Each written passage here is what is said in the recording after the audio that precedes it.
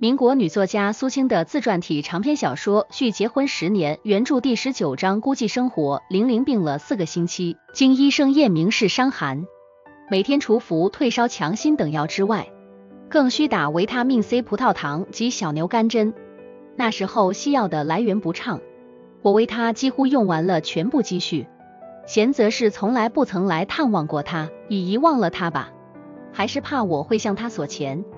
最后还是王妈回去拿她自己的东西时，老妈妈告诉她说是春玉小姐知道玲玲给我接去了，同她哭吵过几次，说是离了婚的女人，还要找上门来，又说玲玲要死也得死在自己的家里，逼着要贤去抱回来。贤总算没有依她这么做，不过答应永不来瞧我们，也不再让我们母女两个上他的门来。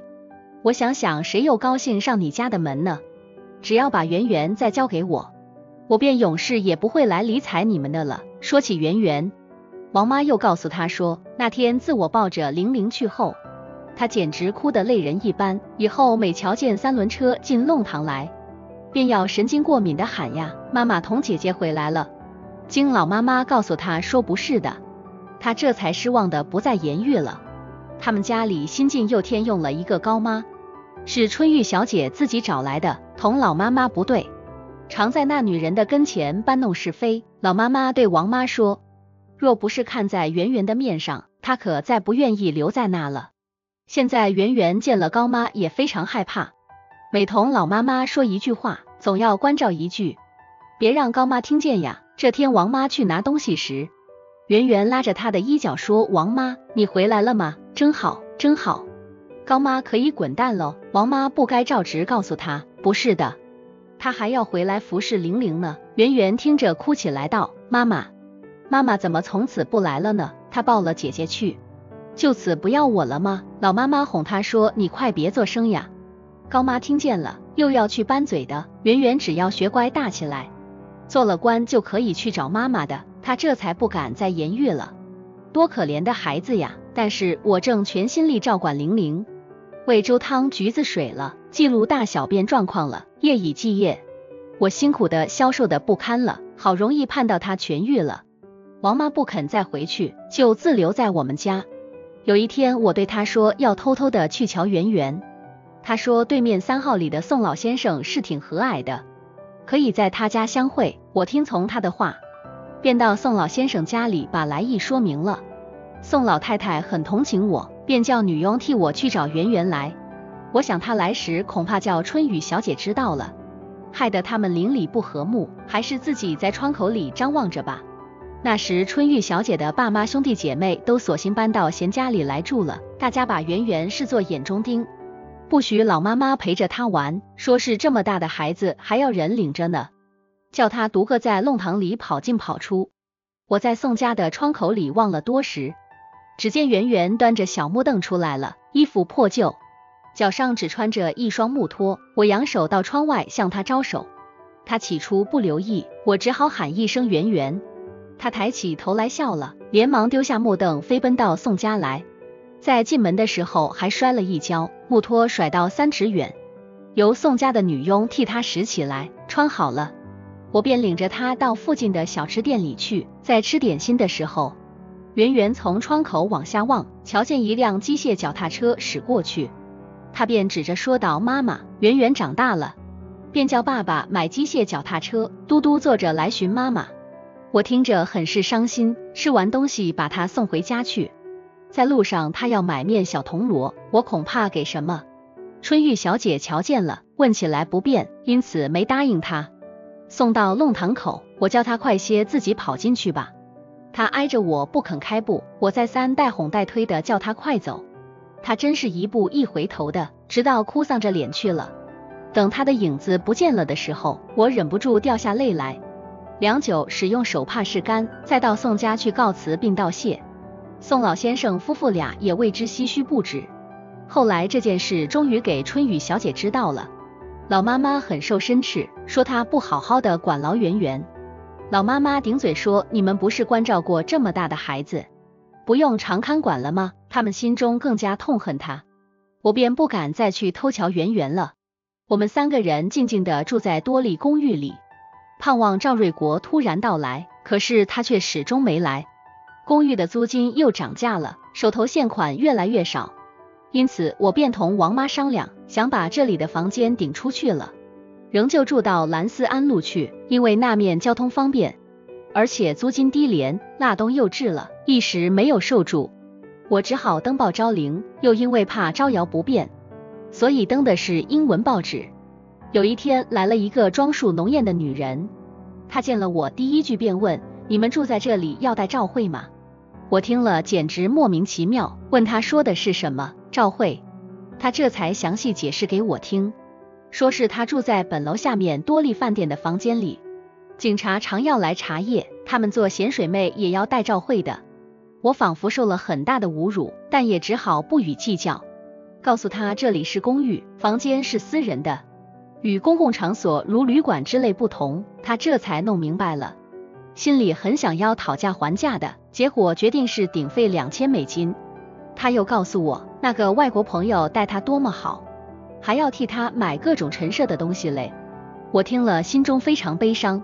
一个有高等知识的女人在初顶房子，为了钱，而另一个下等的咸水妹却把钱看得满不在乎的顶进去了，离开了这个清幽的房间。我们三个人就回到兰斯安路来了。我把一千美金放在保管箱里，另外一千便陆续抵作家用。我平日很少出门，也没有人来看我们。就离新年到了，进来一个晚贤姐，她是我的堂嫂，也是我的老同学，现在银行里当一个小职员，就住在银行的女宿舍里。我们谈起茫茫的前途，她说一切都是空的。我劝你还是省吃俭用捞起来。寄几个钱回乡下住去吧。我说我可是无家可归的了，夫家已断绝了，娘家也无颜再回去了。他叹息道：“哀，这又不是你的过失，遇人不淑本来是件无可奈何的事啊。至少我总谅解你的。假使你不嫌弃的话，老来我们结个伴吧。”我说我是永远不要回恩城去的。他默然良久，就叹息道：“我从前又何尝不是如此想呢？”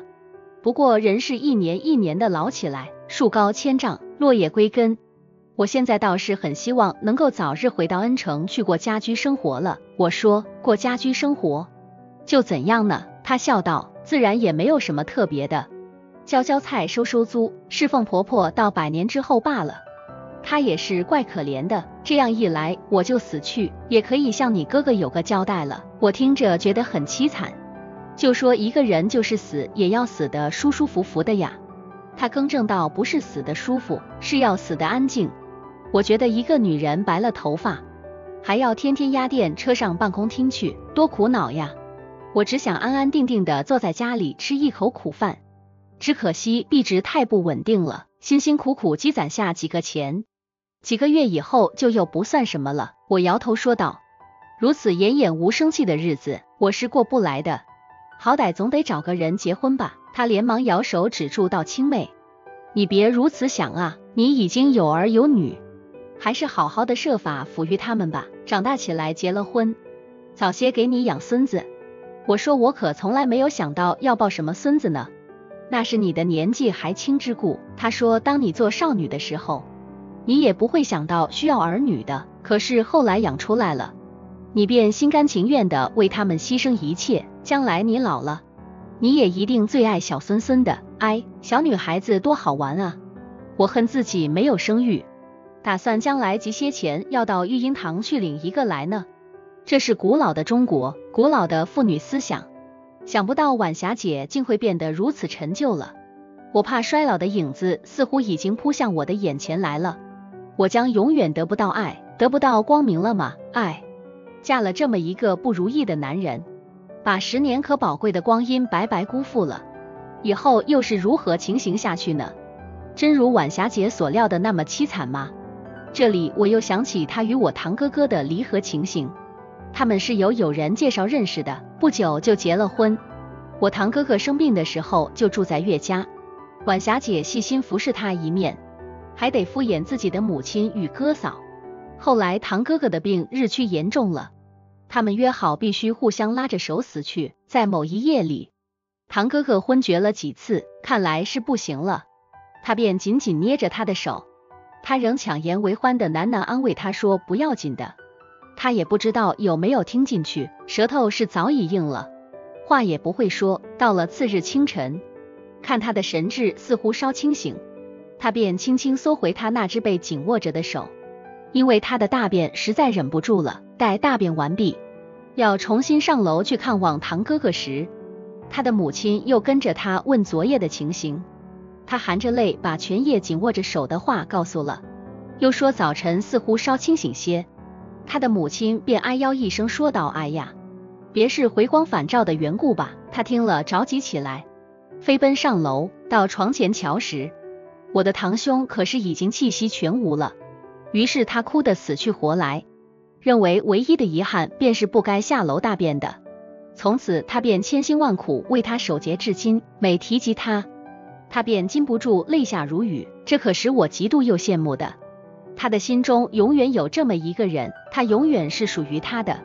虽然他在临死的时候终于没有捏牢他的手，然而他的心却是永远纪念着他的呀。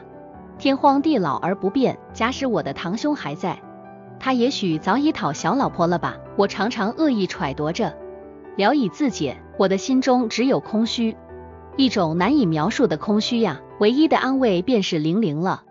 生活是如此艰难，我仿佛绝身走崎岖道路，在黑暗恐怖的夜里没有伴，就只擒着一个玲玲。虽然仍旧是我照料他的，我还是胆大了一些。我也试着印些书，然而销路却大大的减了。据说我的作品是软性的，而眼下的人心却是倾向歌功颂德的东西。有一天，我到文美路上去收书账，遇见从前大江报馆里的职员陆杰。他在大江报馆解散之际，曾分到大量款项，就回故乡去同小脚老婆离了婚。小脚老婆哭着哀求，说自己无法维持生存呀。他就冷笑着对人家说道：“看，上海著名的女作家苏小姐，不是离婚的女人吗？她怎么能够自己做文章赚铜板呢？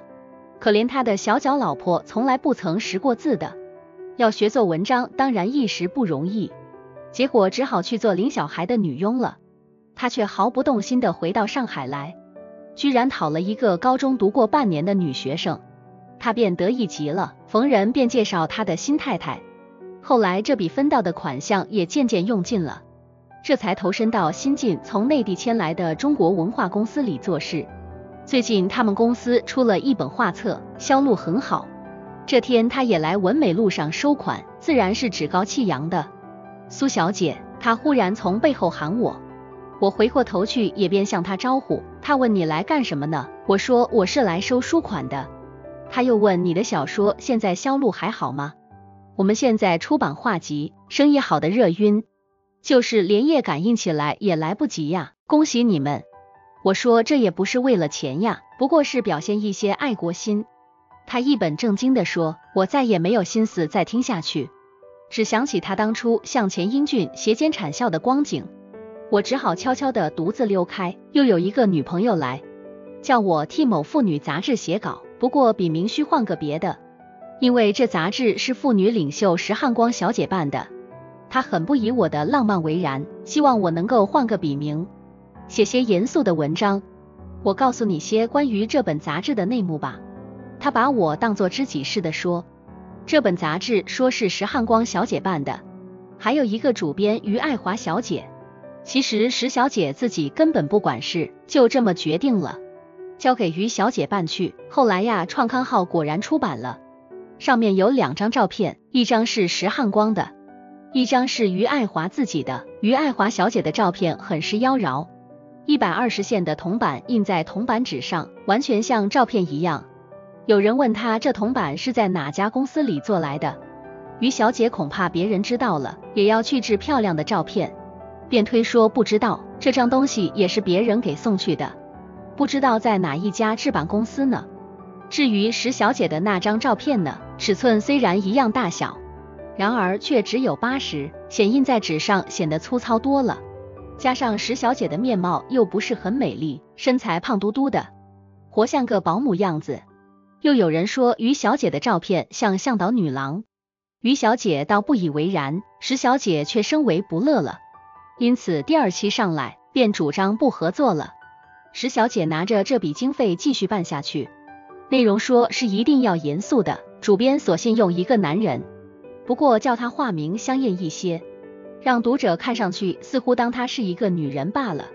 至于于小姐呢，她也许要办一个画报，上面多多刊登她自己美丽的倩影。我听得实在不感兴趣，就打起哈欠来。女朋友也只好告辞了。临别还问我究竟肯不肯替石小姐写文章呢？我笑道：文章我是写不出的，假使他们也要替我登写幺二零线的照片，我倒是可以奉送几张。女朋友恨我无奈，也就不再说了。我继续过我的孤寂生活。有一天，我独自走着去买一斤白糖。在蓝山路上，忽然碰到那个曾向金总理借款，后来又跑到内地去的某文艺作家。我见了他，便喊是某先生吗？他似乎想装作未听见，但毕竟因为距离太近了，不好意思，总不回过头来，只得勉强应声：“苏小姐，好久不见了。”我问你近来很得意吧？他愁眉苦脸的说：“我们做一个文人的，有什么可得意呀？如今做了报馆的采访部主任。”人家都以为待遇是不会错的了，殊不知我出门连三轮车也坐不起呢。我笑道：“你不必担心，今天我可不是存心来向你借钱的。哎，谁说呀？你苏小姐怎么会向我借钱呢？我是最近实在被朋友们逼得凶了，你也要推荐人，他也要推荐人。想想一个采访部又怎么能容下这许多的人呢？其实也没有多少钱一个月。”不过他们的欲望倒也不高，只想能够混一下资格，车马费等能够不落空就好了。听说还有不少是留学回来的，至于大学毕业生，更属不稀罕了。粥少僧多，真令人没有法子想啊！我笑道：“我也没打算求你找职业呀，博先生，我只是为着我们就相识，所以冒昧的来招呼你一声罢了。你现在住在哪里呀？”他不禁慌张起来，道：“我妈？是住在呀，葡萄给忘了。我因为自己没有房，屋檐下还住在亲戚家里呢。不过他们家里人又多，很不方便的。我不会跑上门去来找你的，请放心吧。再会吧。”这时他倒反而不好意思起来，只嗫嚅着问我：“你近来好吗？苏小姐近来怎么样呢？总算托福，还不曾饿死。谢谢你，某先生。”这样我便又匆匆的返家了，连白糖都没有心思买。我知道世界上的人都是不可靠的，我宁愿孤寂，不愿再看别人势利的目光，远兮交以绝友。好了，这个故事先说到这里，欲知后事如何，且听下回分解。